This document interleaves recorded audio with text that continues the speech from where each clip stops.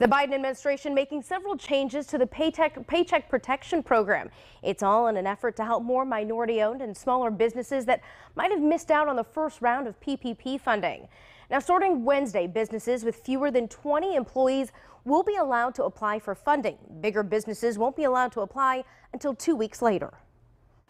These small businesses, not the ones with 500 employees, but these small businesses, that with a handful of folks, they are 90% of the businesses in America. But when the Paycheck Protection Program was passed, a lot of these mom and pop businesses got muscled out of the way by bigger companies who jumped in front of the line.